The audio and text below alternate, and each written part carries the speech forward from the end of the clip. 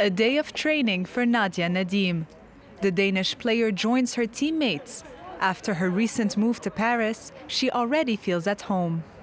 It's it's awesome. It's great. Uh, obviously, a dream come true. Um, it's it's been good, and uh, the football's great. Um, I'm enjoying playing here and enjoying myself. Nadia Nadim could not have imagined reaching this point in her football career when she was younger. She was born in Afghanistan, where football is strictly forbidden by the Taliban. Her father allowed her to play in secret. He introduced us to football. He gave us our first football, but um, we used to play um, in our backyard. He was killed by the Taliban when they gained power in the country. Um, and yeah, that's where we, my mom um, and my four other sisters, decided to leave the country um, and go somewhere where we could have a future. After a trying journey, Nadia Nadim and her family arrived to a refugee camp in Denmark. She joined a local football club and was immediately noticed thanks to her extraordinary talent by the man that would become her mentor.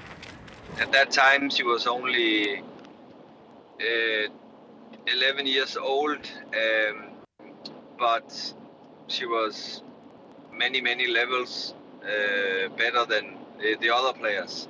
You know, when you when you meet people like that, you are not in doubt that they they're gonna do great things.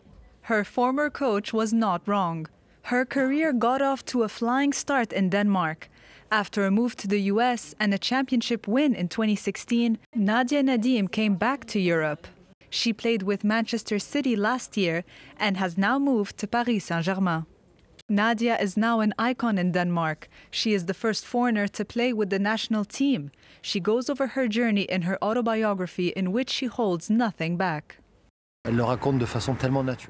She tells her story so naturally, incredible considering what she's gone through. She wants to share her story to show young female players that what they're doing is worthwhile. At 31 years old, the striker is already thinking about her retirement.